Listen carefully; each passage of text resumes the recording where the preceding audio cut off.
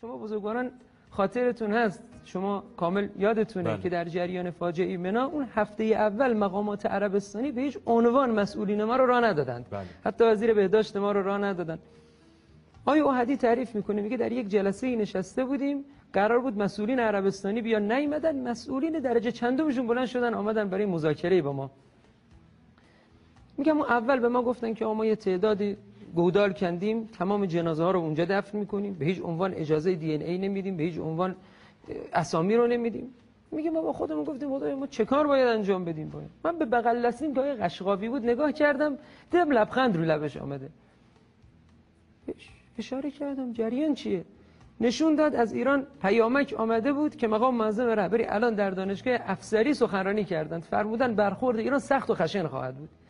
میگه تا این جمله رو منم دیدم لبخند لب منم آمد حالا سوال اونی بود که آیا تیم عربستانی می رو می‌دونه یا نمی‌دونه؟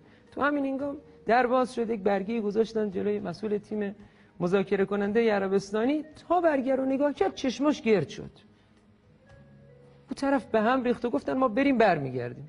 رفتن بیرون و بعد از چند دقیقه برگشتن گفتن ما با وزیر صحبت کردیم. هواپیمای اختصاصی برای شما گرفتن. برید جده شب در عالی ترین مقامات مذاکره بکنیم. شب رفتیم و اینا گفتن آقا ما برای هیچ کشوری حاضر نشدیم این کار رو انجام بدیم.